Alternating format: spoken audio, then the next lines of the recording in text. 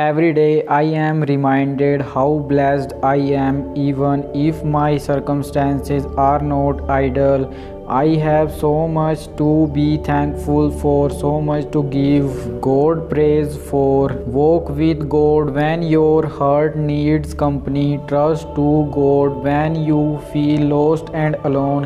When no one can be there, remember God is always there. You are never alone. Type Amin if you believe in Jesus.